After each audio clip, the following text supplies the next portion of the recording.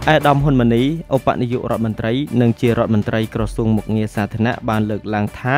នៅមិនដល់50ឆ្នាំផងប្រជាពលរដ្ឋកម្ពុជាកំពុងឈរនៅទីនេះសម្លឹងមើលប្រទេសជាតិដែលកំពុងមានការលូតលាស់រីកចម្រើនឥតឈប់ឈរក្នុងសន្តិភាពពេញបរិបូរណ៍ We Active ជីវិតកាន់តែរីករាយកាន់តែរស់រវើក នៅព្រឹកថ្ងៃទី17ខែមេសាឆ្នាំ2024នេះតាមរយៈទំព័រ Facebook អាដាមហ៊ុនម៉ាណីបានសរសេរឲ្យដឹងថារយៈពេល4ថ្ងៃនៃពិធីបុណ្យចូលឆ្នាំថ្មីប្រពៃណីជាតិខ្មែរបានបញ្ចប់ទៅប្រកបដោយភាពអឡារឹកជាមួយបរិយាកាសសប្បាយរីករាយស្នាមញញឹមនិងសម្លេងហូរកញ្ជ្រៀវនៅគ្រប់មូលដ្ឋានទូទាំង25រាជធានីខេត្ត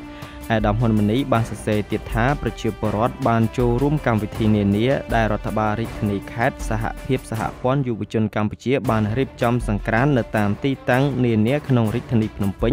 ក៏ដូចជាតាមបណ្ដាខេត្តប្រកបដោយទឹកមុខសោយក្អាកក្អាយក្នុងឱកាសថ្ងៃឈប់សម្រាកអានិយាយបានថា4ថ្ងៃនេះគ្រប់គ្នាបានលេងកំសាន្តយ៉ាងពេញទំហឹងអាដាមហ៊ុនម៉ាណីបញ្ជាក់ថានៅថ្ងៃ17ខែមេសានេះជាថ្ងៃប្រវត្តិសាស្ត្រមួយដែលប្រជាជាតិកម្ពុជា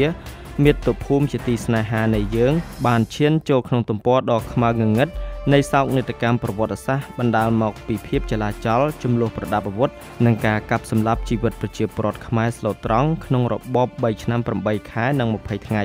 ក្រោយថ្ងៃរំដោះ7មករាឆ្នាំ1979កម្ពុជាត្រូវខិតខំប្រឹងប្រែងក្រោកឈរឡើងដើម្បីកសាងអភិវឌ្ឍមាតុភូមិចេញពីគំនរផេះផង់ដែលបានប្រព្រឹត្តដោយរបបប្រល័យពូជសាសន៍ អាដាមឧបនាយករដ្ឋមន្ត្រីបានសរសេរបញ្ជាក់ថា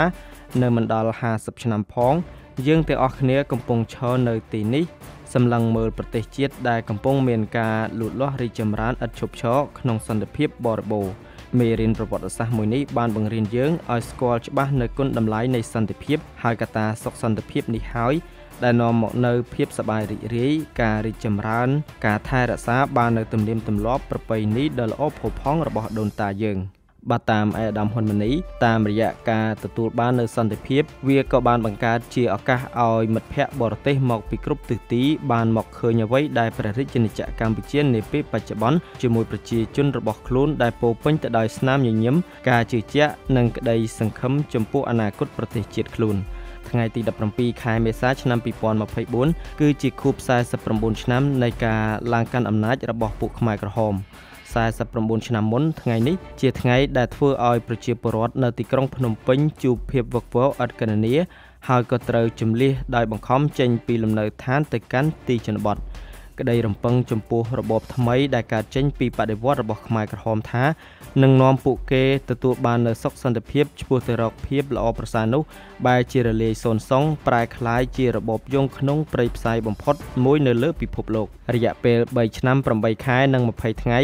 ក្រោមកណ្ដាប់ដៃបនប្រឡាយប៉ុលពត បានធ្វើឲ្យប្រជាពលរដ្ឋខ្មែរជាង1លាន7សែននាក់ទៅ2លាន2សែននាក់ត្រូវបាត់បង់ជីវិតដោយការកាប់សម្លាប់ការបង្អត់អាហារនិងជំងឺដង្កាត់និងអំពើអមនុស្សធម៌ដ៏យងក្នុងផ្សេងៗ